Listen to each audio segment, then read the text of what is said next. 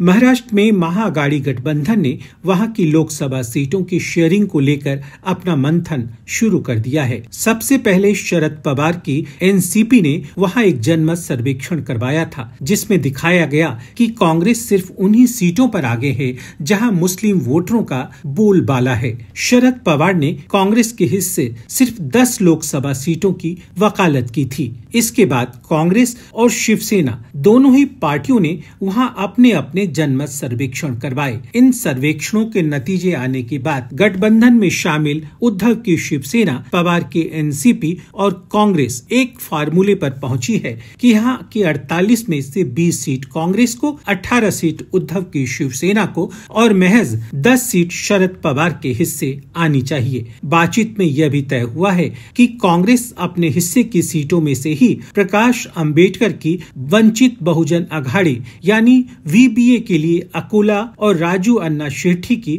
स्वाभिमानी श्वेतकारी संगठन, यानी एस एस एस के लिए कोल्हापुर की हाथ कंगड़ने लोकसभा सीट छोड़ देगी। हालाँकि अभी इस बात पर न तो अंबेडकर राज़ी हैं और न ही शेट्टी। ये दोनों नेता अपनी अपनी पार्टियों के लिए चार चार सीटों की डिमांड रख रहे हैं। पर कांग्रेस नेतृत्व को भरोसा है कि मात्र अकोला और हथकणगले सीट देने से ही बात बन सकती है। हमारे वीडियोस को देखने के बाद लाइक और सब्सक्राइब करना बिल्कुल ना भूलें।